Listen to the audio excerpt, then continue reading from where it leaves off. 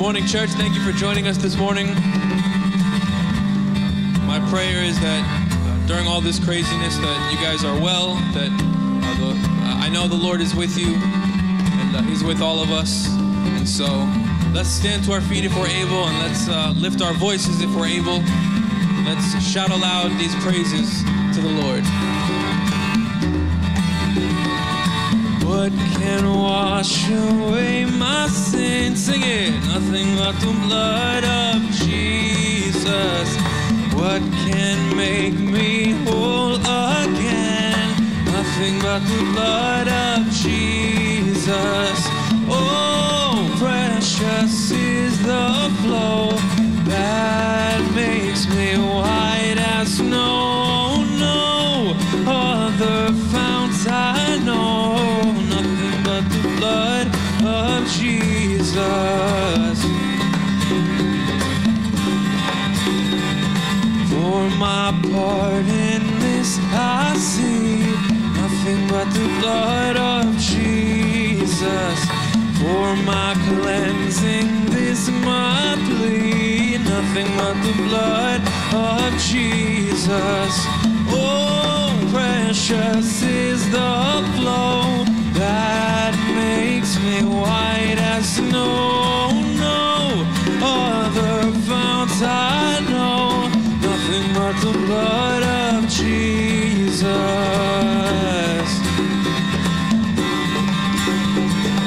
Nothing can for sin atone, nothing but the blood of Jesus. Not of good that I have done, nothing but the blood of Jesus. Oh, precious is the flow that makes me white as snow. No other I know, nothing but the blood of Jesus. Sing, oh, precious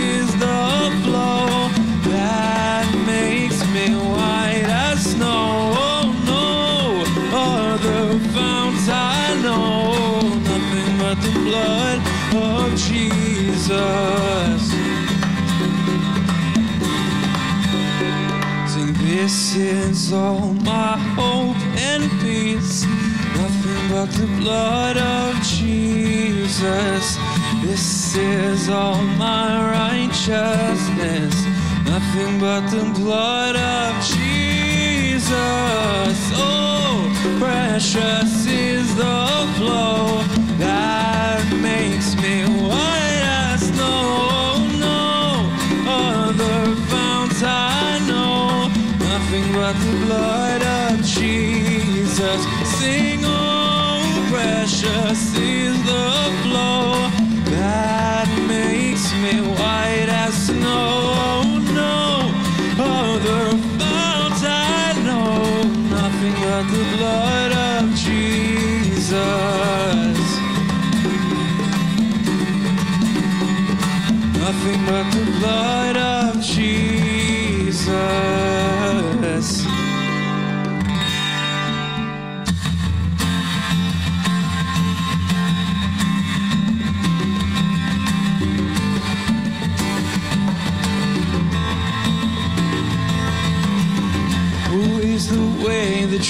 The life? Who is the holy word of light? Who is the vision to our eyes? Who is the love that will abide? Only Jesus, only Jesus, who is true is life. Only Jesus Christ, Jesus, only Jesus, who is lifted high. Only Jesus Christ, who is the purpose of our days.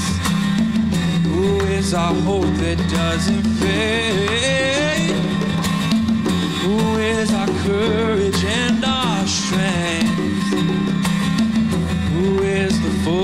of our faith. Only Jesus, only Jesus.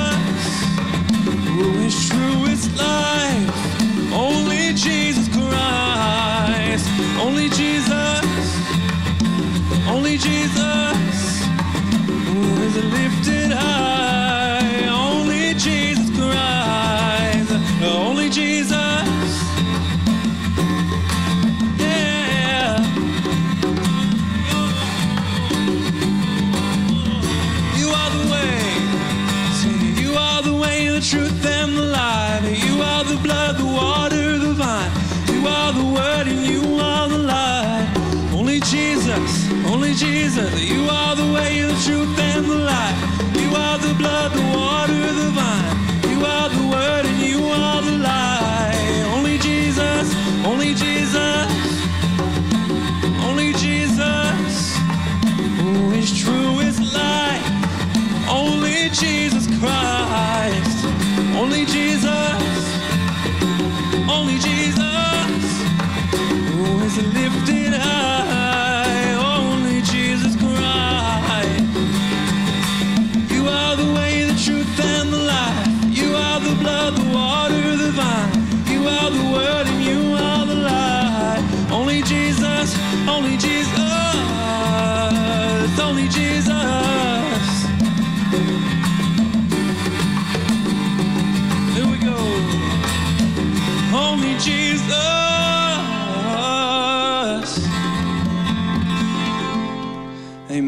Amen. Church, our scripture reading this morning comes from the book of Romans, chapter 12, verses uh, 14 through 16. It says, Bless those who persecute you, bless and do not curse them. Rejoice with those who rejoice, weep with those who weep. Live in harmony with one another. Do not be haughty but associate with the lowly. Never be wise in your own sight.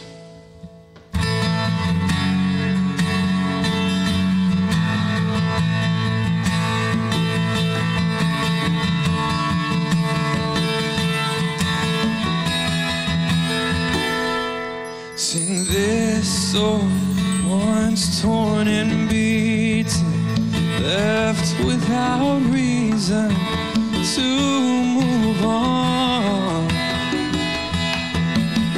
Then you reached down and brought me up from the valley of dry.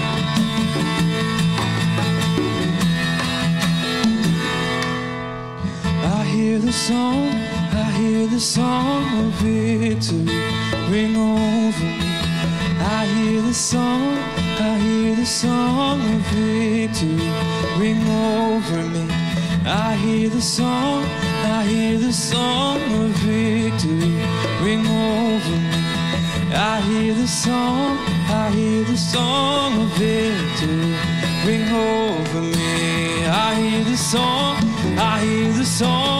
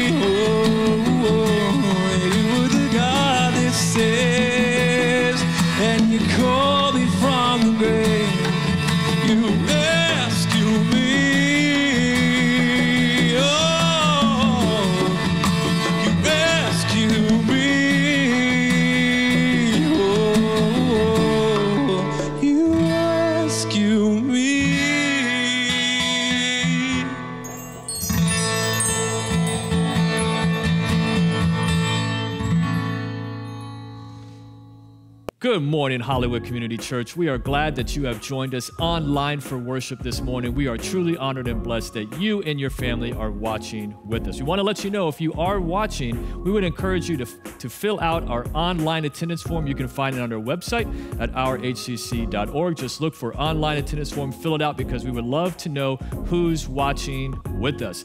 If this is your first time joining us online, we want to say welcome. We are glad that you are here, but we'd also like to know you are watching with us. And so you would can fill out a connect card on our website at the same website, ourhcc.org. Find Connect Card, click on that, fill it out, and we would love nothing more than to reach out to you this coming week and say, How can we pray for you? How can we love on you? And how can we help you take your next steps in following Jesus?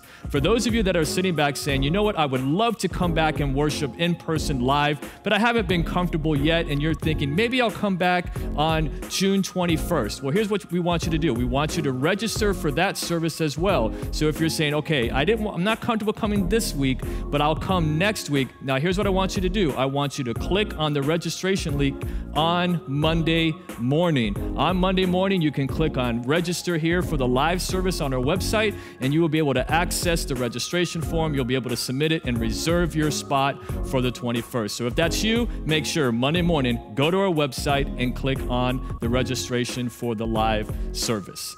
We want to thank each of you that have been faithful in your tithes and offerings. Everything that we've been able to do during this whole pandemic, our online community, our live service communities, everything with the food pantry, it is because you have chosen to sacrificially give. And we are so grateful and thankful for each of you. You are demonstrating the love of Christ, and we are amazed and in awe of what you guys have been doing. So thank you from the leadership at HCC. There's several different ways that you can continue to be faithful in your tithes and offerings. You can give through the mail. You can give through our website at ourhcc.org. You could also use our text to give option where you text the number, the amount you'd like to give, and you'll be able to stay faithful that way. You can also use our church app just by opening the app and clicking on the give tab, and you will be able to give in that way as well. So thank you for your sacrifice and thank you for your giving heart.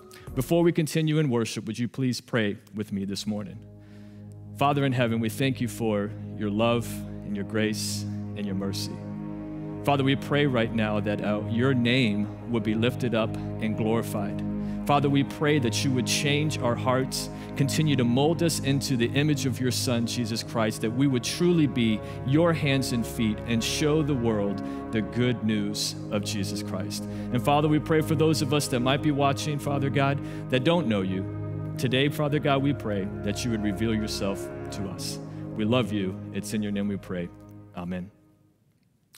Good morning, Hollywood Community Church family. I'm so glad that you have chosen to worship with us online today. So, did you ever have a teacher who uh, treated one student differently than the rest? We would refer to that student as the teacher's pet. Uh, that student received special privileges and seemed to get more attention than the rest of the students. Or maybe at your place of work, there's one employee who gets preferential treatment. The management seems to cut that person more slack than anyone else, and they seem to get away with things that maybe you would never be able to get away with. Or just maybe you grew up in a home where one of the children was treated as the favorite. Hey, I don't know, maybe you were, maybe you are the favorite child in your home. Many of the Jews in New Testament times thought that way. They, they believed that as God's chosen people, they received unique privileges that others didn't deserve. Although, yes, God is wrathful and, and God was going to judge the pagan nations, they felt like God was extremely patient and kind with them, and that God was willing to overlook many of their minor transgressions. Many Christians today have the same mindset. We wouldn't admit that we have that mindset, but we've rationalized that we're the teacher's pet, that, that God looks on us with favor, and as a result, God will graciously and kindly overlook our sins because our sins really aren't that bad in comparison to other people's sins. He'll overlook ours while he sternly judges the sins of others. That simply is not true. As a matter of fact, the Apostle Paul concludes the passage of Scripture that we're looking at today, Romans 2, verses 1 through 11, with one simple and yet straightforward verse. Let me read this verse and then we'll have a word of prayer. In Romans chapter 2 and verse 11, Paul says this For God shows no partiality. Five simple words. For God shows no partiality. Would you pray with me today? Father, once again, as we look at your word, we pray that the Holy Spirit of God, the great teacher, would open our eyes open our minds and open our hearts. Help us not just to understand this passage of Scripture, but help us to be willing to apply it to our lives. And so we thank you for what you are going to do through the ministry of the Holy Spirit and your word. And it's in Jesus' name we pray. Amen. You'll remember that last week the Apostle Paul dealt, dealt with some pretty deep stuff. If you remember, he talked about the fact that God demonstrates his wrath against those who suppress the truth, who uh, reject his divine revelation, and those who fail to honor him. The Apostle Paul showed the digression of sin. The fact that sin never remedies itself, sin never gets better, sin always degenerates. And as a result of man's persistent pursuit of sin, Paul said three times in Romans chapter 1 that God gave them up. He, he allowed them to come to erroneous conclusions. He allowed them to follow after their sinful passions. And he allowed them to justify their sinful actions with a depraved mind. Now, if we're not careful, as we talked about last week, we can read those verses or hear that and, and kind of respond with an attaboy attitude, thinking that God is speaking to others and not to us. But that simply is not the case. We saw last week that the message of Romans chapter 1 wasn't directed to them, it is directed to us. And as we come to chapter two, the Apostle Paul gives us three admonitions, simple admonitions, yet profound admonitions to remind us that God's view of our sin is no different. So, so the first admonition that Paul gives us in Romans chapter 2 is this don't be a hypocrite. Notice chapter 2, verses 1 through 3. Paul says this. We looked at it last week, but Paul says, Therefore, you have no excuse, O man, every one of you who judges.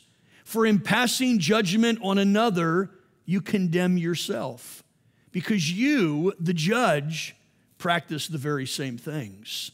We know that the judgment of God rightly falls on those who practice such things. Do you suppose, O oh man, you who judge those who practice such things and that and yet do them yourself, that you will escape the judgment of God? In these verses, the Apostle Paul is chastising his fellow Jews for their judgmental attitudes towards the Gentiles. He's basically asking them, Who do you think you are? You condemn the Gentiles, yet you practice the very same things. In essence, he's accusing them of hypocrisy, of being hypocrites. You see, we, just like the Jews, are experts at seeing the sins of others, but often blinded to our own faults and blinded to our own sins. It's kind of like looking at someone and telling them to wipe their face, and yet at the same time, we have chocolate dripping off uh, of our chin. or it's like complaining about someone else's driving while I'm running a red light. Or it's kind of like one politician calling out the indiscretions of another politician. Or maybe a pastor preaching the gospel, but not living the gospel.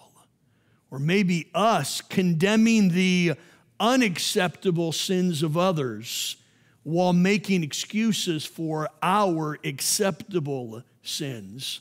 Because after all, my sins aren't as bad as somebody else's sins. Jesus addressed this truth in Matthew chapter 7, verses 1 through 3. Jesus said this Judge not that you be not judged, for with the judgment you pronounce, you will be judged. And with the measure you use, it will be measured back to you. Uh, why do you see the speck that is in your brother's eye, but do not notice the log that is in your own eye? How can you say to your brother, Let me take the speck out of your eye, when there is a log in your own eye? You hypocrite, Jesus says. First, take the log out of your own eye, and then you will clearly see to take the speck out of your brother's eye. So, so here's what Paul is encouraging in Jesus as well. He said, Let's not be a, a hypocrite. So, so, how should we respond then? Let me give you two practical ways that we can live out what the Apostle Paul is talking about here. The first is this be honest with your own sins. Let me say that again be honest with your own sins. For some reason, it's really difficult for us to see our own weaknesses, our own faults, and our own sins. We can easily see them in the lives of others, but for some reason, it's difficult for us to see our own. It's kind of like noticing dirt on your face. Unless you look in a mirror or someone tells you that your face is dirty, you might go all day long with dirt on your face and never know it. Several weeks ago, I came to, to preach the Sunday morning message and to film it. And uh, I preached through the entire message and was really satisfied with it. And went out to my car. And before I turned my car on, I, I was fixing my mirrors and I noticed that I had a great big blood spot right on my chin. I'd gone through the entire message and I didn't even look at my own face. I didn't know the blotch that I had on my face. If I would have only looked in the mirror before the message, I would have never had to preach the message all over again. So I had to come back and we had to do the entire message all over again. That, that, that's a really practical truth. And applying that to our spiritual lives, unless you and I are looking at ourselves in the mirror of God's word, it is easy for us to overlook our sins while pointing out the sins of others. David the psalmist addressed this in Psalm 139, verses 23 and 24, where David said, Search me, O God, and know my heart. Try me and know my thoughts, and see if there be any grievous way in me and lead me in the way everlasting. The apostle Paul in giving direction about the Lord's Supper in 1 Corinthians chapter 11 says this, let a person examine himself and then eat of the bread and drink of the cup. In verse 31 of that chapter, he says, But if we judged ourselves, truly we would not be judged. So, so, can I give you a real practical application today?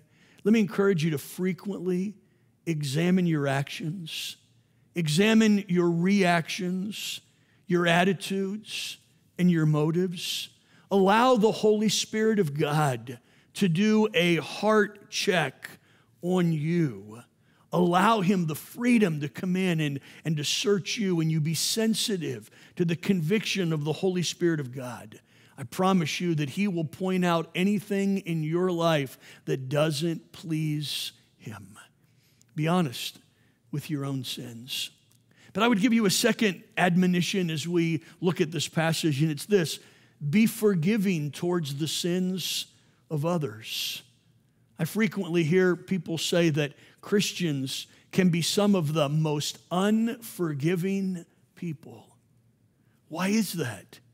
The, the, those of us who have been uh, forgiven the most have a tendency to be the most unforgiving. We, we should be the first ones to forgive. We should be the ones who forgive the greatest offenses. Yet sadly, often that is not the case. In Matthew chapter 18, Jesus tells a parable of a man who owed millions of dollars to a creditor.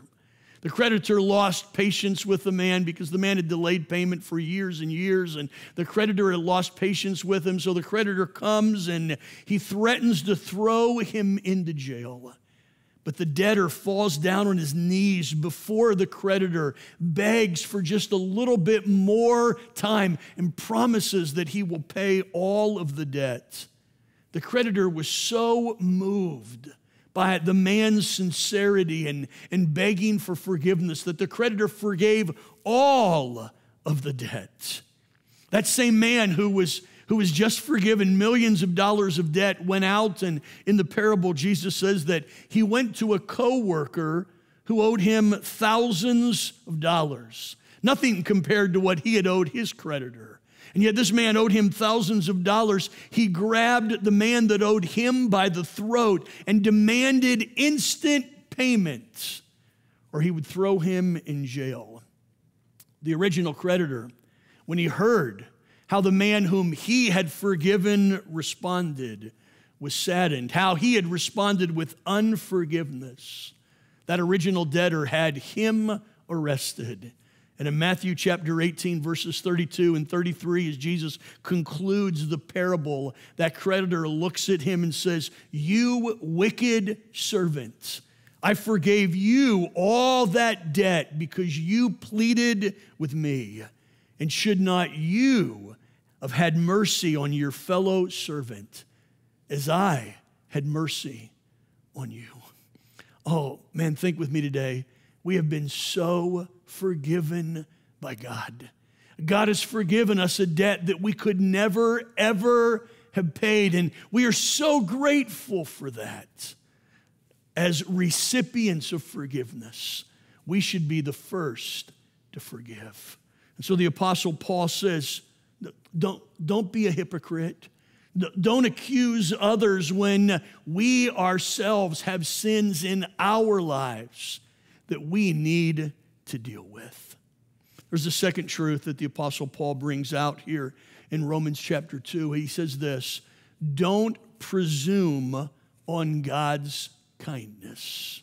Notice verses 4 and 5. Paul says this Or do you presume on the riches of his kindness and forbearance and patience? knowing that the kindness or knowing that God's kindness is meant to lead you to repentance, but because of your hard and impenitent penitent heart, you are storing up wrath for yourselves on the day of wrath when God's righteous judgment will be revealed. Once again, Paul begins verse 4 by saying, Do you presume on the kindness and forbearance and patience of God. The NIV says it this way don't show contempt for the riches of God's kindness. Here, here's what Paul is basically saying He's asking, Do you take the goodness of God lightly? Do you and I take God's kindness for granted? And Paul then gives us a description of God's character. So I would challenge you and I as we think through this and we apply, we apply it to our lives with this thought know God's character. Paul, Paul mentions three distinct attributes of God's character in these verses. Let me take just a few moments and unpack them for you. The first thing that Paul says is this that God is good. Our, our English word for God actually points us in that direction. Our English word for God comes from the Anglo Saxon word which meant good. In, in the mind of the Anglo Saxons, God was not only the greatest of all beings, but God was the best of all beings. He was the source of all goodness. And so when the Anglo Saxons looked for a word to describe God, the word that they came up with was good because God is good. James 1:17 says this, every good gift and every perfect gift is from above, coming down from the Father of lights, with whom there is no variation or shadow due to change. God demonstrates his goodness to us. Why? Because he himself is good. He demonstrates his goodness through creation. He, he demonstrates his goodness through common grace. The sun rises on all of us, it rains on all of us. God demonstrates his goodness through his common grace, and he demonstrates his goodness through the proclamation of the gospel. God is good. Paul talks about a second attribute here. He says, God is tolerant. The word that he actually uses in the ESV is the word forbearance. The word forbearance has the idea of holding back, delaying, pausing, and maybe demonstrating clemency to someone. The idea that Paul is conveying that is that God is extremely patient with us. The first and the best example, of course, is Adam and Eve there in the Garden of Eden. God, remember, God had warned them that on the day that they ate of the forbidden fruit, they would die. Genesis 1 17.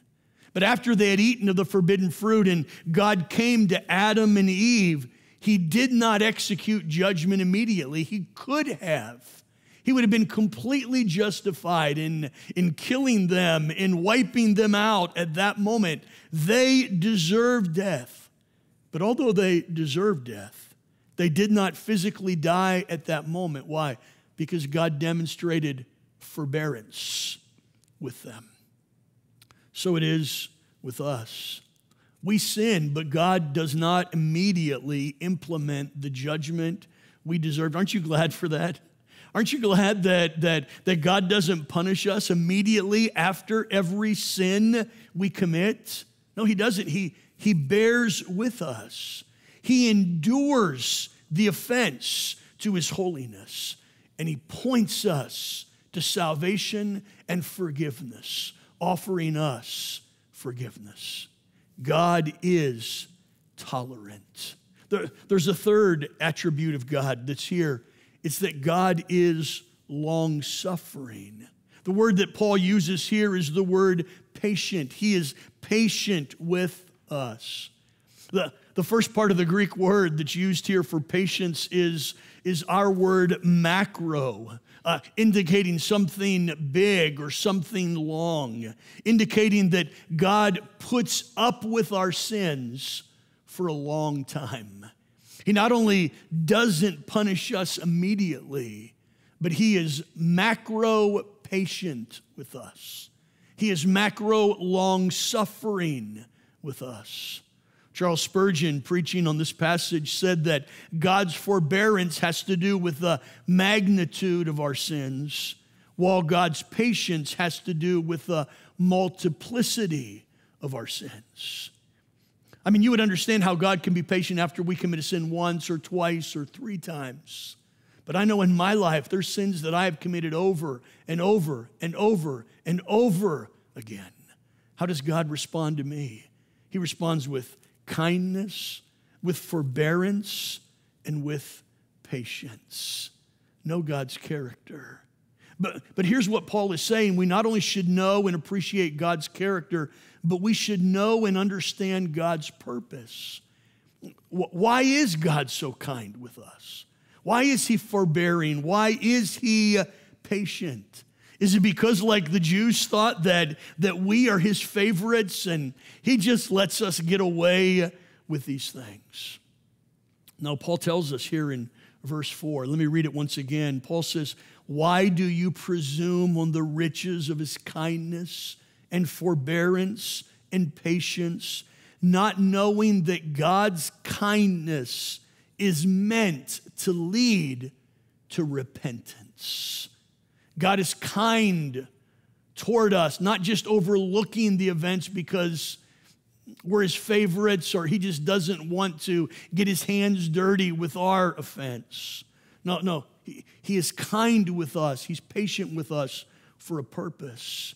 He, he, he is wanting his kindness to push us towards repentance. And yet, sadly, instead of responding to God's kindness with confession and with repentance and a changed life, we often respond with callousness and not responding at all. How do we do that? Let me give you two ways that we respond incorrectly to God's goodness. First of all, we don't realize the magnitude of our sins. Let me say that again. We fail to realize the magnitude of our sin. I would remind you that any sin however innocent we think it might be, offends a holy God. We have no right to categorize our sins. We have no right to excuse them or act as if our sins are more innocent than others. And let's be honest, we all have a tendency to do that. If we didn't, we wouldn't commit the same sins over and over again. But in our minds, we somehow justify and rationalize believing that our sins aren't that bad and God is going to overlook our sins. And we fail to realize how our sins, how my sin, as innocent as Brian thinks it might be, how my sin offends a holy, righteous God. I would submit to you today that any sin should break our hearts knowing that we have offended a holy God. And yet we often don't respond that way. We presume on his kindness, thinking once again, he's not going to judge us immediately. And the second way that we presume on his kindness is not only do we not magnify or, or understand the magnitude of our sins, but we don't repent of our sins. Because we don't view our sins as that grievous, we ignore them. Presuming on the kindness of God, failing to repent and turn from them as God desires for us to do.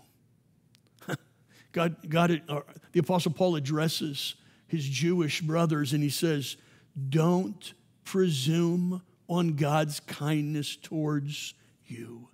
Take advantage of his goodness and allow him to change your life. I would submit to you today that God loves you and God is kind to you and God is patient with you, but he demonstrates those attributes for a purpose because he wants you to become more like him. Don't presume on his kindness. Paul says a third thing in the passage. The third thing is this don't trust in your works. Notice verses 6 through 10. He says this He will render to each one according to his works. To those who by patience and well doing seek for glory and honor and immortality, he will give eternal life. But for those who are self seeking and do not obey the truth, but obey unrighteousness, there will be wrath and fury. There will be tribulation and distress for every human being who does evil, the Jew first and also the Greek, but glory and honor and peace to everyone who does good, the Jew first and also the Greek. It seems as if Paul is saying that salvation is by good works. In other words, if you do good and persist in goodness, that you will be saved. And if you do evil and persist in that evil, that then you will be lost. Of course, we know that that is not what the Apostle Paul is saying. That's what Paul was saying in this passage. He would contradict what he says in other passages. So, what is it exactly that the Apostle Paul is telling us? Two thoughts. You are saved by faith and not by good works. That's consistent with Paul's message throughout Scripture. I'd remind you what Paul says in Ephesians chapter 2, verses 8 and 9, for he says, For you, or for by grace you have been saved through faith. And this is not your own doing, it's the gift of God, not the result of works, so that no one can boast. In other words, here's what Paul is saying you and I can never be good enough. We can't be kind enough. We can't give enough. You can't forgive enough. You can't go to church enough. You and I can never be good enough. Here's what we need we desperately need the grace of God. And so, if you're watching today and you are attempting to earn your salvation through uh, your goodness, let me commend you for your attempt. But the scripture teaches us very clearly that all of our good works are just as filthy rags in God's sight, and we can never do good enough to please Him. What we desperately need is the grace of God. You and I are saved by grace through faith and not by good works. What is Paul saying then in the passage when he says that God will render to each one according to their works? Here's what he's saying Your good works demonstrate your faith. My good works demonstrate my faith. In other words, the changes God is making in your life, the, the changes that God is making uh, in your life so that you're kinder to others, your willingness to forgive, your, your generosity, those are all demonstrations of the faith you possess. When he says in verse 6, I read it a second ago, he will render to each one according to his works. Here's what Paul is saying your actions, your attitudes, your motives are actually a demonstration of which path you are on. Are you on the path of righteousness that leads to glory, honor, immortality, and, eternal life? Or are you walking the path of destruction? That leads to wrath, tribulation, and distress. Here's what Paul is saying that God desires to do a work of grace in your life. He desires not only to change your eternal destiny, but He desires to change your character and my character. And He desires to mold us into the character of Jesus. That's what the gospel does. And when we respond to the gospel by faith, that's the work that God does in our life. A few weeks ago, we talked about the power of the gospel and that it has power not just to change our, our eternal direction, but it has the power to help us overcome sin in our daily lives. And it helps us to change the direction of our lives. That's what Paul says in 2 Corinthians 5:17. Therefore, if anyone is in Christ, he is a new creation. The old has passed away. Behold, the new has come. Let me ask you today is God doing a work of grace in your life? I'm not asking if you're perfect, if, if you've reached sinless perfection, because none of us will.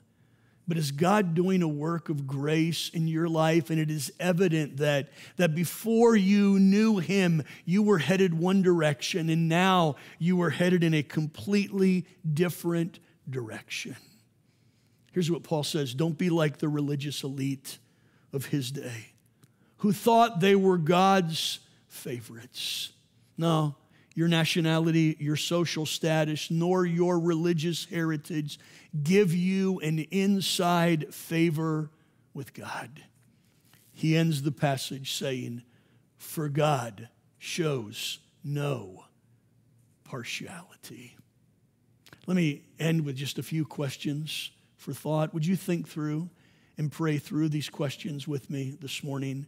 The first question is this Have you recognized your guilt before God? You see, conviction of sin and understanding of our own depravity, our own sinfulness, is the starting point of our salvation. We can't turn to Jesus until we know that we desperately need him. That's why Paul is taking so much time in the beginning of this letter to point out our sinfulness. We desperately need Jesus. All of us are guilty before God. Have you recognized your guilt before God and turned to him? Here's the second question Do you have a sense of spiritual elitism? You see, if we're not careful, we can forget where God has brought us from. The humility that we needed for salvation, if we're not careful after a few years, turns into spiritual pride, almost allowing us to have this sense of spiritual elitism that we are better than others. Our sins aren't as bad as theirs. God looks on us differently. Do you have a sense of spiritual elitism? If you do, would you confess that to God? Thirdly, are there any sins in your life that you have excused or ignored? Maybe sins that you've kind of tucked away and act like it's no big deal. And at this very moment, the Holy Spirit of God is, is, is pointing light on that sin. Don't presume upon God's kindness. Today, confess that sin, repent of that sin, and ask the Holy Spirit of God to help you to turn from that sin. And the last question is this Is God continually changing you? I'm not asking if He changed you in the past. I'm asking, is He changing you today? Allow the truth of the gospel to continue to mold you and shape you into who God wants you to be. Would you pray with me today? Lord, thank you so much for the truth of your word. Help us this morning to be sensitive to the Holy Spirit of God as he speaks to us, and help us to obediently respond to him. And it's in Jesus' name we pray. Amen.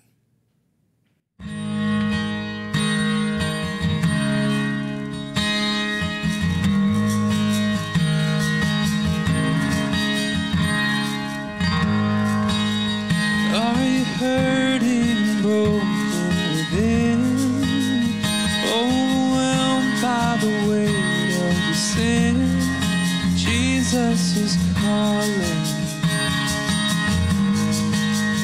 Have you come to the end of yourself? Do you thirst for a drink from the well? Jesus is calling.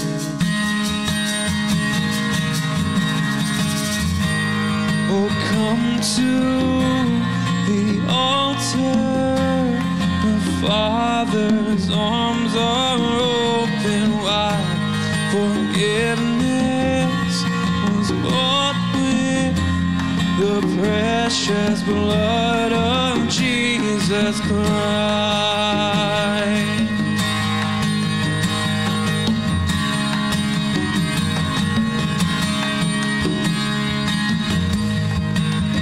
Leave behind your regrets and mistakes.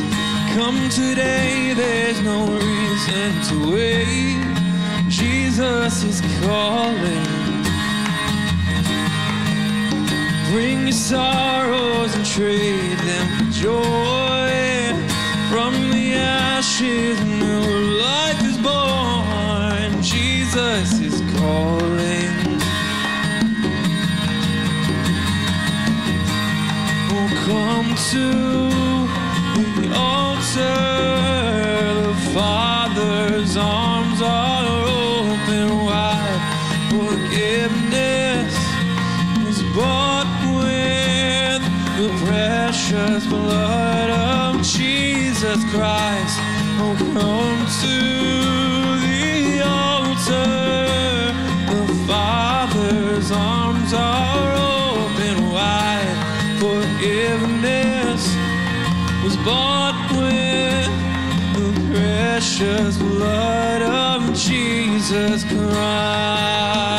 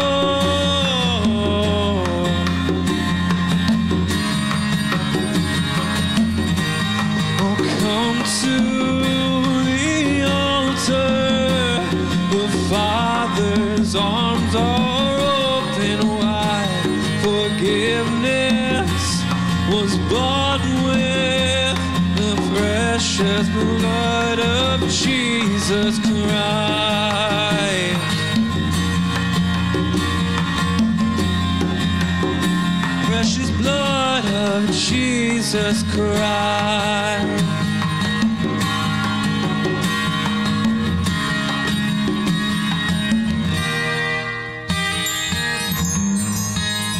Bear your cross as you wait for the crown. Tell the whole world the treasure you found.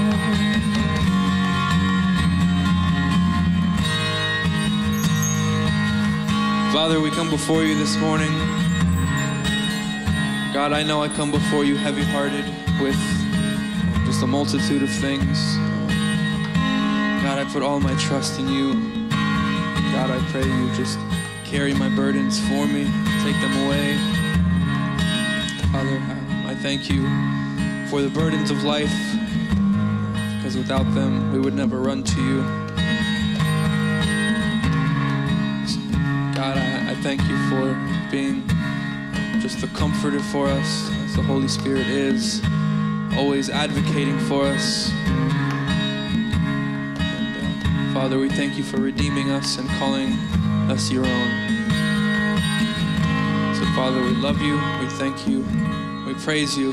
It's in Christ's name we pray. Amen. Everyone, thank you so much for joining us online. We can't wait to see you next week. And uh, yes, thank you so much. We love y'all. Have an amazing week. We're praying for you. We are here for you. And uh, yeah, we love you. See you next week.